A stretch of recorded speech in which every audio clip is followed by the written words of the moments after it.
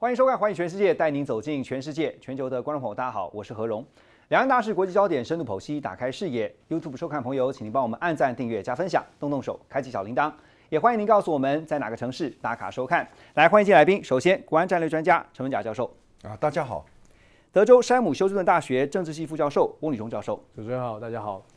新北市议员林炳佑，炳佑兄，主持人好，大家好。还有美国共和党前亚太区主席方恩格 Russ，大家好。好，今天首先带您来关注，就是昨天传出的一起网络谣言呐。中国大陆这个谣言是这样说：中国大陆有一艘零九三型的商级核潜舰在台海附近发生了严重的意外，造成最后舰上的官兵是全数罹难。但是很快的，这个就被证实呢是个网络谣言。台湾方面呢，国防部也立刻就做出了澄清，而且证实说没有相关的讯息可以证明此事哈。那这件事情引发高度关注，但是没有引发不必要的恐慌。可是为什么这艘零九三型的核动力潜舰，那传出这样的一个谣言之后，会立刻引发高度的关注跟讨论呢？啊，其实呢，这件消息呢，呃。其实，在昨天发出来的嘛，那其实大家也非常的震惊。刚开始第一步哦，那我觉得，呃，之所以这个消息传出来，当然是从哦，我们知道长期在观察海军哦，就是潜舰，甚至世界各潜舰的一个专家叫沙顿，哦他他所贴出来的。嗯，那当贴出来，当然这是又有一个路德社的一个背景，又有这个呃所谓的哦这个呃郭文贵的一个背景了，所以当然引起。啊，比较多的一个争议啊，但是我们这个国防部呢是勇于哦澄清哦，马上澄清哦，说因为怎么样，就台湾呢现在在台海附近呢这个呃密集的透过一个联合的勤监侦哦的手段，然后呢来这个监控台海的不管是哦。空域跟海域哦，嗯所以呢，他没有发现呃这个特别的状况。此外呢，也没有直接的证据或特别的相关证据，所以呢，他是持比较保留啊。嗯那我想呢，这个部分一起来之后，当然就美国或是中国甚至日本呢都没有一进一步的一个动作，甚至一个发言。那我来看呢，其实中国如果真的是有这个事情，中国一般也不会去讲。也不会去讲，因为比如说我们讲二零二零年了，他们中印边境的时候啊，当初其明明死了四十五个人，他们也不讲说没事，其实后面是有事的。嗯，那但是就美国的话，如果就美国，他因为跟日本呢，他在美日同盟这个过程中，他其实对这个，因为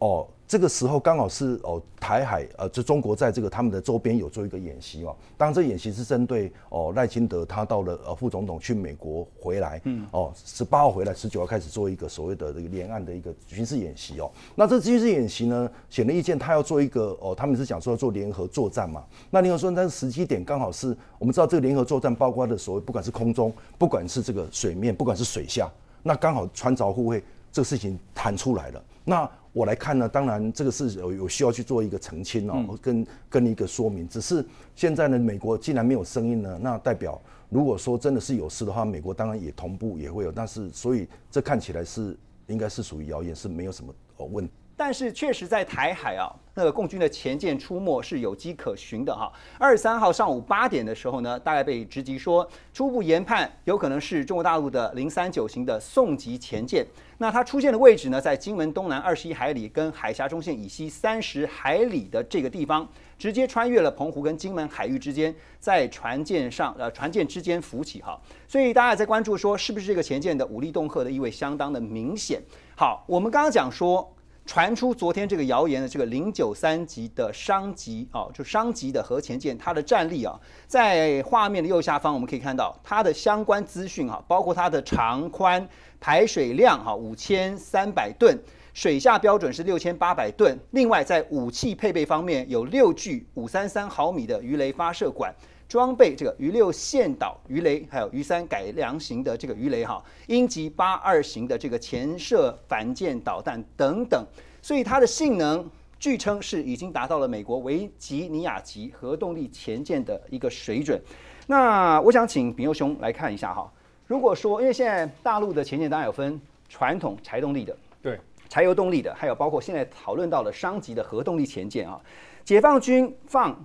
核动力潜舰在台海，在整个台海的战略响定计划中，依照你的观察，你所了解的，他们被赋予的任务是什么呢？我要先呃跟大家说明一下，就是说核动力潜舰大概分成两大类型，一个是攻击型的潜舰，一个是搭载这种所谓战略型核武器的哈，就是潜射弹道飞弹的这种战略级的潜舰。嗯，那我们现在在今天提到这个商级舰，即便它是一个所谓的呃假消息了哈。但是看起来讨论的是还是核攻击的类型，是，所以它出现在台湾海峡是比较才是有可能有意义的事情，不然传统上我们会认为，在中国整个呃核战略的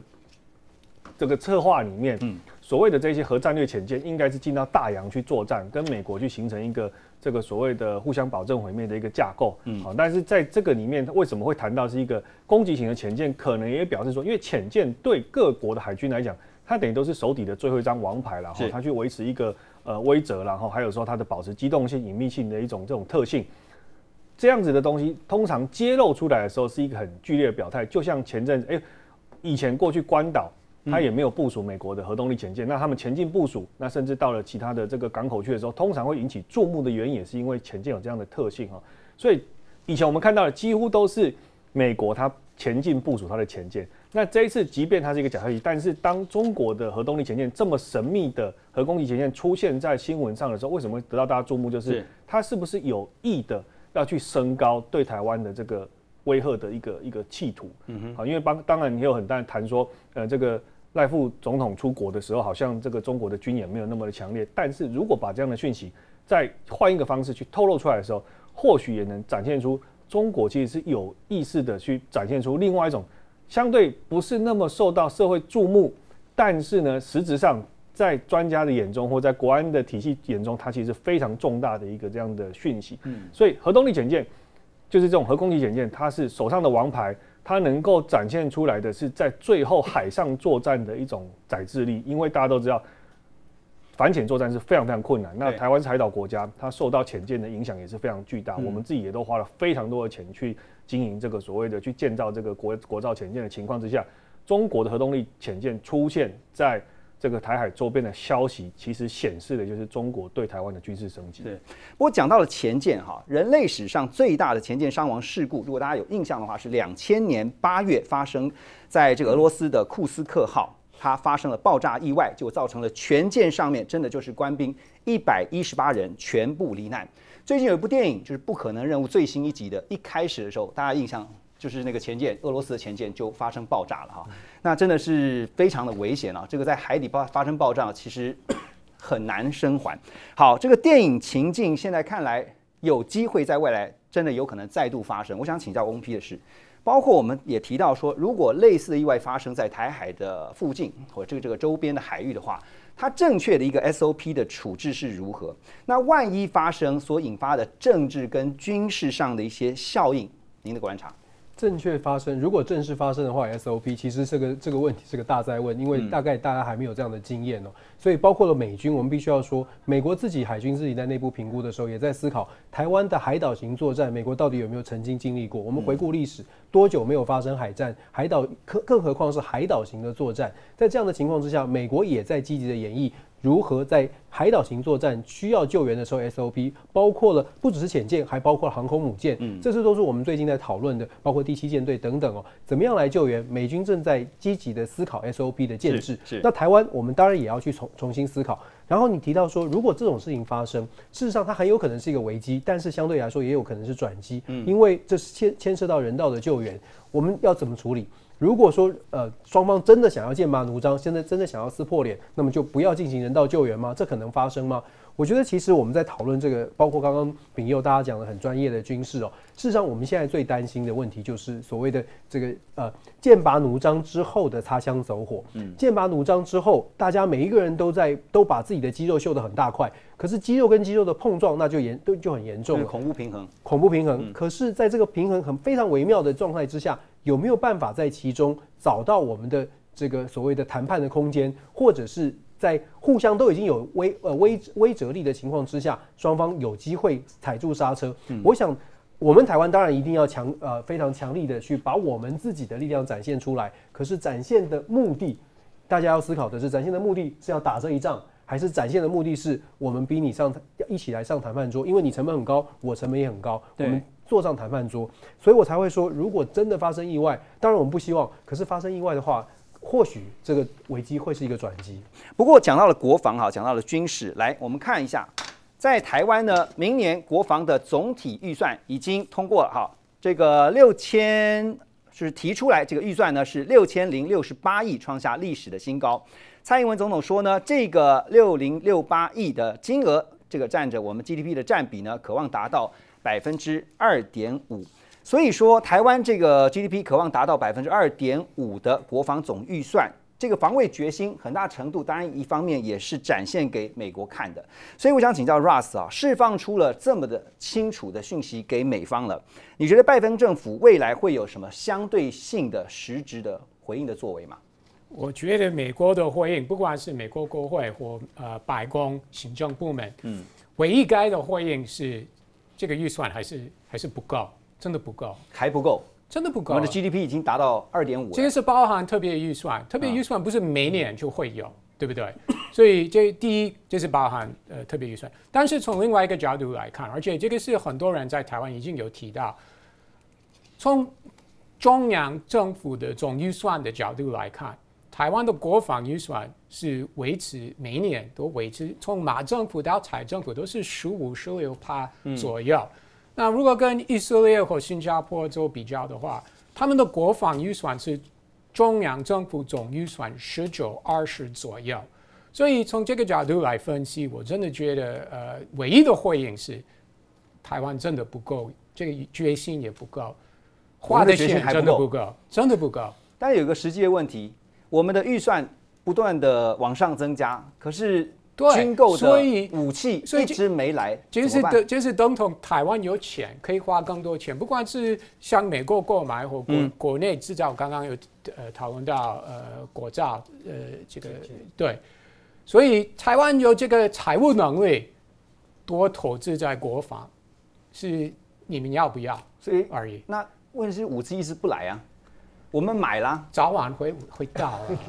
早晚是什么时候？大家也都在问嘛。只要还没有开战，武器到就还有一个时间问题，还有机会使用。如果我们的预算已经往上不断在增加了，嗯，其实也是希望未来台海发生冲突的时候，美方有没有可能会协同？来协防这个问题，会不会出兵这件事情？哦，这个呃，我们都知道，如如果台湾失去他的决心，这个美国会来帮忙的可能性是比较大，对不对？但是如果美国觉得台湾决心不够、不够清楚、不够大等等，那美国怎么可能会来帮忙，对不对？但是我们要要记一件事情：国防预算不是全部花在武器，也不是全部花在美国的武器，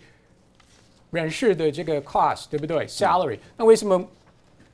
募兵一一直一直找不到人了，对不对？一直打打不到目标，因为兴趣太低了，嗯，对不对？所以提高预算，很多的这这个这个开销是花花在人事，不是全部都花在武器，所以不能完全责怪我们美国武器还没到。好，我觉得你的回应跟这美国国务卿布林肯很像，就是外交方面说，我们的可能性就会增加了哈，协协防台湾的可能性会增加，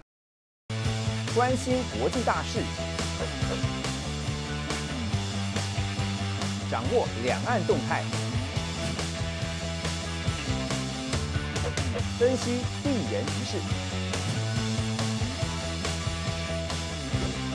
周二到周六晚间九点，环宇全世界带您走进全世界。YouTube 上朋友，请帮我们按赞、订阅、加分享，动动手开启小铃铛。就日本排放福岛废水这件事情，八月二十四号。这个日本政府决定从二十四号开始呢，把福岛第一核电厂处理过的含川核废水排入海中。它总量是多多少呢？相当于五百三十座奥运的标准游泳池这样的这个量，但是。重点在后面，是预计要排三十年之久。日本首相岸田文雄说呢，国际原能总署在七月已经认证了处理过的废水的水池是符合安全标准，请大家放心。但是呢，日本自己内部呢，却有人就打脸岸田说，呃，像是日本渔联会的会长坂本雅信就说，这个一旦把废水排放入海，就会有声誉受损的担忧。渔业界是对此非常的。不放心，连在日本自己渔业界、产业界的人都觉得，他们对于这个核废水，即便是经过了这个国自国际原能总署的认证哈，可是呢，他们仍然觉得说，哎，会对生育有影响，而且呢是不放心的。好，我想请教翁批的是说，哈，这个大大幅的排放核废水，而且我刚听我刚看到就是说三十年呢，三十年真的是很久啊。这个要排连续排三十年呢，不会对于太平洋生态或者是沿岸国家造成任何影响吗？你觉得？当然会造成影响，而且其实日本也很清楚。事实上，就是因为日本很清楚，而且日本也知道周边的国家会有不同的声音。可是面对日本国内，包括要从如果说福岛真的要重新脱胎换骨，真的要重新开始面对新的生活，当然地方的压力也很大。所以岸田其实面对的挑战是不小的，就是国内有期待，可是国际上面其实反应很大。那现在看起来呢，如果我们从国际的角度来看。岸田文雄现在面对的本来很大的挑战是来自韩国，可能还有中国，还有还有其他，包括北韩也这样的也在抗议哦。事实上，现在因为美日韩三国同盟的关系，所以顺势而为，韩国的这个压力相对来说变得小一些。包括韩国内部也有压有压力，但是尹锡悦自己把自己压掉了。所以岸田文雄现在等于是抓住这个时机，如果现在不做，接下来也不见得会声量这个反对的声量会小一些。所以岸田文雄等于是不得不做，面对。各种的选择，面对实际的选择，他选择现在。可是我们还是要强调，刚刚何荣主持人你也说了，科学来看还是有很多疑虑的，很多这些疑虑是没有办法化解。嗯，怎么办？政治人，我只能说，岸田文雄他承担了这个决定，自己要承担这个政治责任，要来做这样做做这样的事情。对，会不会因为这样子导致他的政权受到影响，或者会不会因为这样子引发比较大的国际的争议？现在短期之内，包括我们刚刚讲的尹锡悦可以接受，可是尹锡悦也会面对选举的，尹锡悦也有可能下台的。这个日韩之间的关系真的可以永远的维持现在这样吗？我觉得这是岸田要承受的挑战。那现在你可以看到说，中港方面已经强力的反对哈，当然现在。先开第一枪是香港，因为香港政府就宣布说，从八月二十四号开始要禁止日本东京都福岛县总共有十个都县的所有水产品进口。那么陆方方面，这个外交部发言人汪文斌也表示说，中方是强烈敦促日本纠正这个错误决定，撤销核污染水排海计划，用真诚的态度，还有周边的跟周边邻国啊善意沟通，以负责任的方式来妥善处理这个核污染水，并且接受。严格的国际监督，但像刚才翁比所提到的是说，岸田文雄现在几乎就是吃了秤砣铁了心了啊，也找来这个国际原能总署帮他背书哈。不过现在看到香港开了第一枪，现在禁止十个都县的水产品进口。目前大家在看的是接下来呢，就是中国大陆方面中方这边会不会决定后续的跟进来反制？但如果决定，它的前提是需要考量哪些层面的问题？好，我先把一些数据跟大家报告哈，就是说这个谈到呃，只有日本的十个都县左右的这个水产品进口，它其实占日本总共水产品输出大概是百分之三，嗯，也就是总金额大概在八千万美元左右，那换成日元大概是一百一十六亿日元了哈，那也不是一个小数字，因为其实就台湾的经验也可以看到，中国如果它在对其他国家去做施压，甚至是所有的国际关系里面，常常会以农产品。农产品并不是一个价格很高的一种特的产品，嗯，但是呢，它会因为从业者很多，会让这些这个所谓的执政者他会感受到内部的压力，有民意，对，它其实是一个民意的压力。所以，就我刚刚提到的数字，第一个是比例看起来不高，总量看起来不高，但是实际上你看是多少的从业人员在做这些工作，而且它非常的指得非常清楚，这十个县里面其实有一些根本也不生产海产，但是他特别强调，我连加工品、再制品我都不接受。那其实就是回过头来，就是他的目的真正是要在给日本去做一个政治上的压力，这是第一个部分哈。那刚刚提到，就是我也必须再说明一下，就是说后续中国大陆要不要跟进反制这件事情，事实上是我认为中国大陆的反制其实是在香港之前，因为他在七月七号，也就是国际能源总署七月认证说符合标准要准备开始排放的时候，中国大陆这边就已经开始提出实质的禁止方式，就是在海关要先验验十天，嗯。验十天，意思就是你的冰鲜的海鲜，其实你等于在那边等到不新鲜了。它已经实质上它进行一个控制，所以它其实有没有要去做跟进的必要？我认为是没有必要，反而是香港先走这一波的原因，会让这个日本感觉到比较大压力的原因，是因为中国保留了一个很大弹性，就是说我是在科学上针对你的食品有没有做残留啊，做出一个检验，那可以过的话，那当然我再放你进来，这是给日本保留一点后续的颜面。是，但是。相较之下，有一定比例的这个香港反而是先跳出来的时候，那日本当然就是感受到比较明确的压力，就是那我要不要跟中国在其他的事情上有一个妥协性？所以我认为，其实中国在处理这个事情的时候是非常巧妙，就是它同时有两种两张牌，一个是我中国刀，我有实质的控制的机会，然后另外一个相对比较少的成分，也就是在香港这一端，我表现一个透过香港去表达一个比较强烈的意志的时候，我想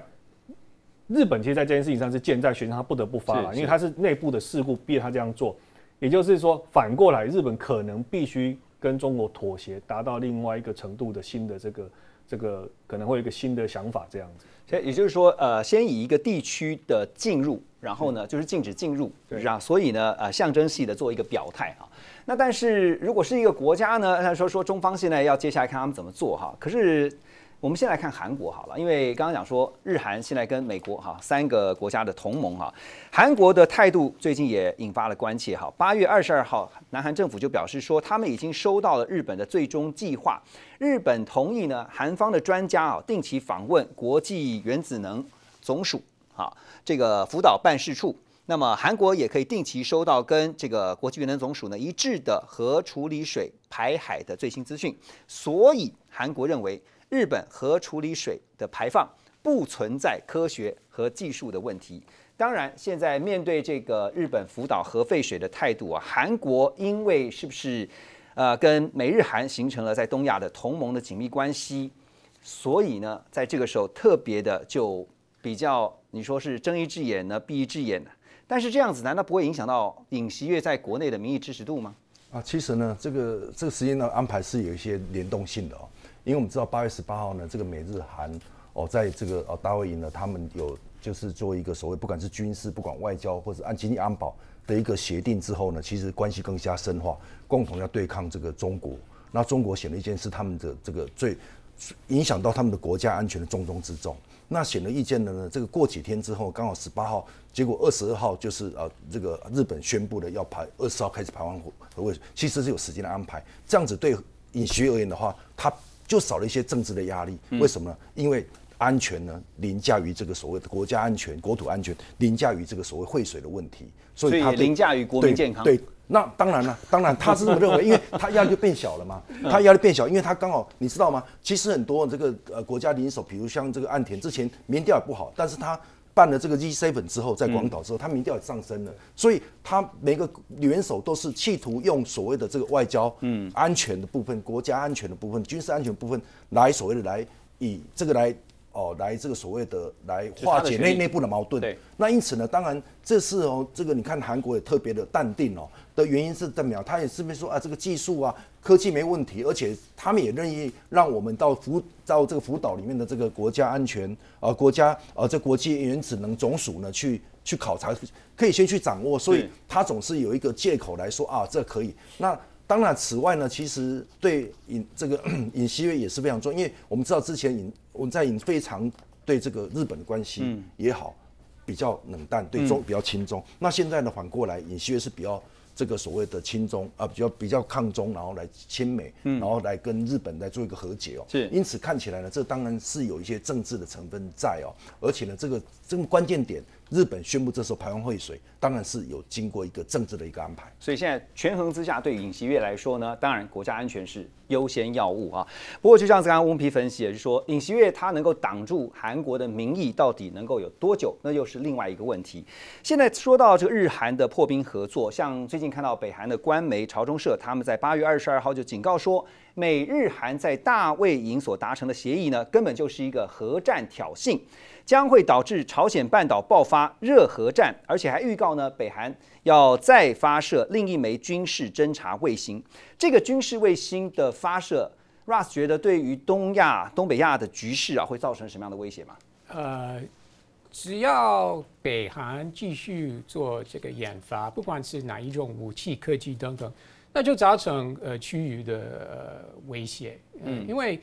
呃，他们国内的情况非常不稳定。不管是经济或缺食食物等等情况，我们也不知道，呃，COVID 的国在北韩国内的真正的情况到底是什么？呃，其实有一个重点，按照他们过去的行为，